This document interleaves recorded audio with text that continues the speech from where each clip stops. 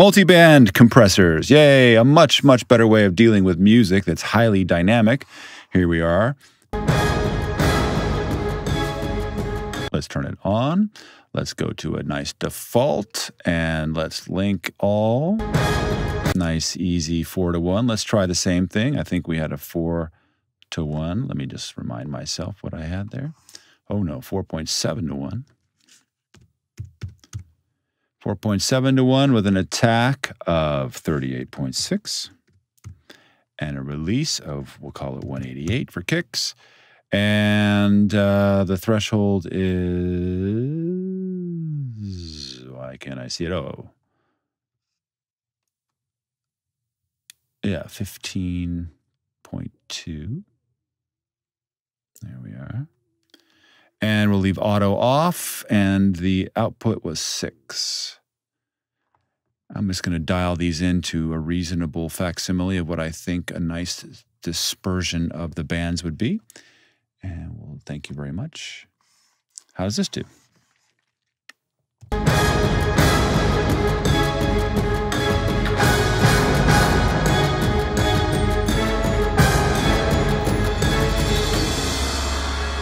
Pretty good. Doesn't even sound like it's doing anything. That's because if you look down here, look at what's happening. How much of the low frequencies are being cut ongoingly because of that big percussion, and the high frequencies where you really notice distortion and weird, weird things like that are kind of being left alone because the energy isn't there. It's in the low frequencies, and that was what was crushing those single band compressors before. And you're left with, oh, that sounds really nice, and yet it's being brought down. Excuse me. Let's look at the audition multi-band compressor.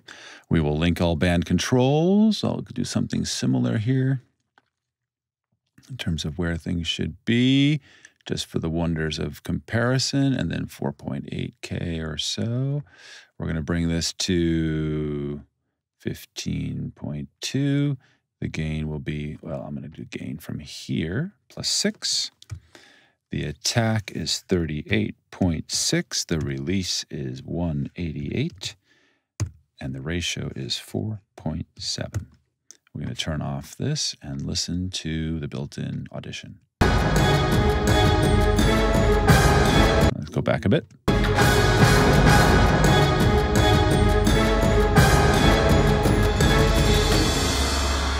That's the audition. Here's uh, Ozone.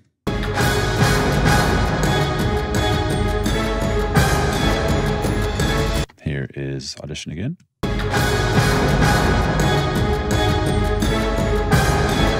And Ozone.